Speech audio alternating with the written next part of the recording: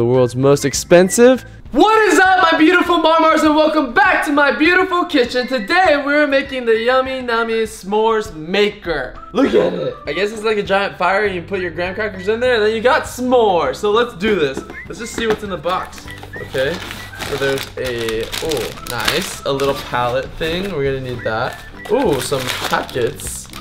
And this fire is so much smaller in real life. What the? I thought this fire was gonna be like this, the size of the box, but it's the size of like a fourth of the box. What the heck? What? I feel ripped off, yummy nummies. I feel really ripped off right now. But it's fine, let's just get to the video, I guess.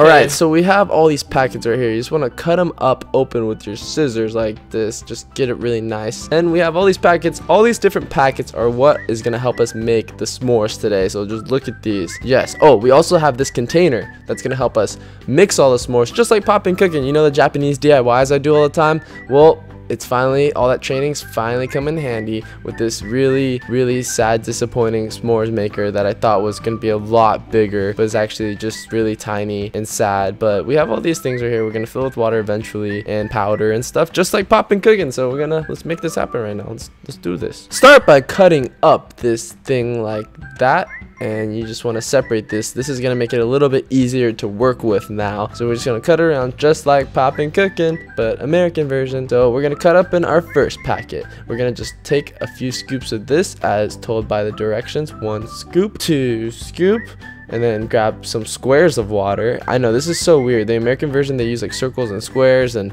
then we're just gonna put this together and we get the mixer spoon and mix it all together. We're gonna be making our graham crackers first right now.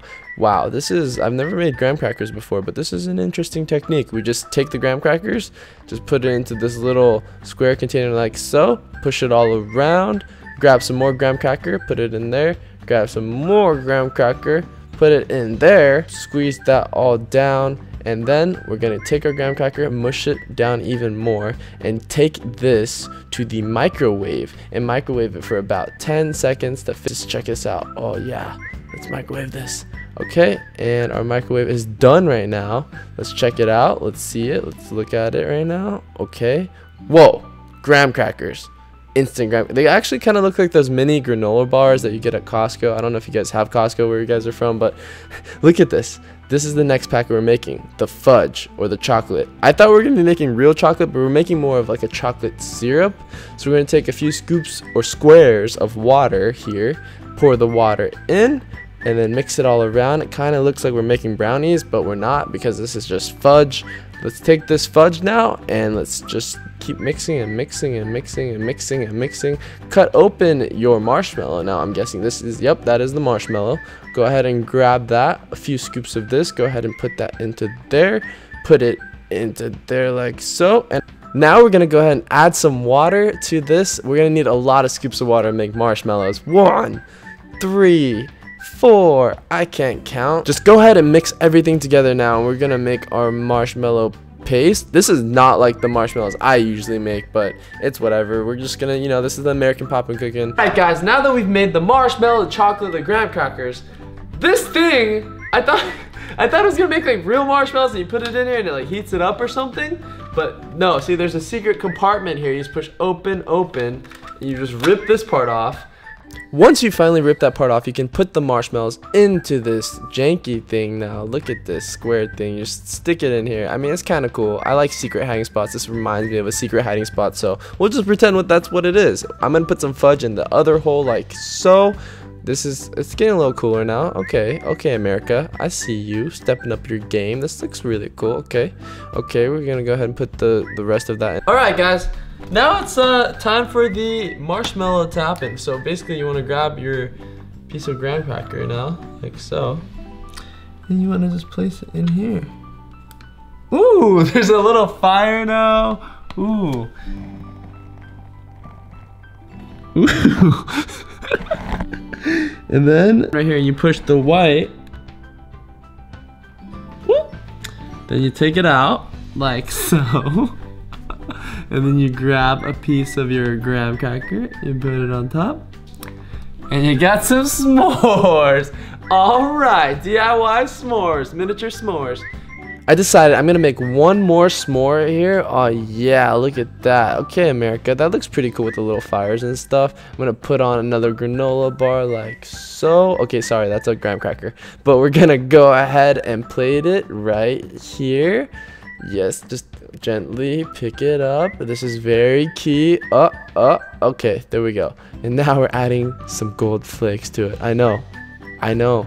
I'm making the world's most expensive and miniature s'mores. Look at this. Gold flakes. Oh my goodness. It's actually really cool. The gold flake like adheres to it. I mean, it does that to a lot of things, but just look at this. Watch. Just watch. I take the gold flake next to it like this. I don't do anything. It just sucks on like that. Whoa. Whoa. It just, oh, look at this s'more. That s'more just looks so much more appetizing now.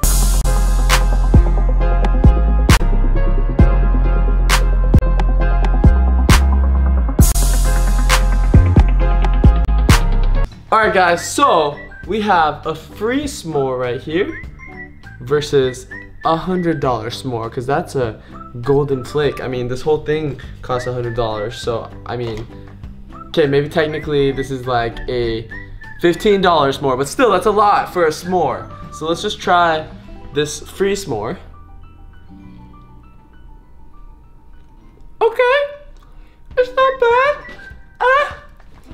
I'm just not gonna lie to you, that was just not good at all. I don't like it. The Japanese popping cooking, so much better than this fake American popping cooking with the very disappointing size flame thing. Let's try the $100 one. That is so much better! Gold makes everything better! Just kidding, that tastes really gross. I don't like it. I don't like it at all. They both taste nasty. Don't get this. American poppin' cooking not as good as Japanese poppin' cooking. Pop Japanese poppin' cooking actually tastes like what it's gonna taste like kind of most of the time. It does not taste good at all. Ugh. Ah. Ah. Mm. If you guys enjoyed this video, I will. I guess I could try some more of these American poppin' cookies if you guys want to see some more of these. But get this video to 20,000 likes. I love you forever, you Marmars. And thank you guys so much again for my million subscribers. And I'll see you guys tomorrow at 12 p.m. for another new video. Peace!